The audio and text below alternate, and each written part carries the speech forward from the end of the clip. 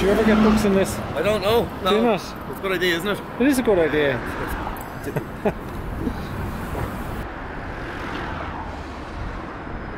Oh, no, I haven't even seen it before, but I have a lot of books that I wouldn't mind popping in. Oh, the history of love. Very nice. Nora Roberts Sanctuary. Forest Match. Scary one, isn't it? interesting. That's a nice community thing to do. Yeah. Very nice community. No, no. Do you read much?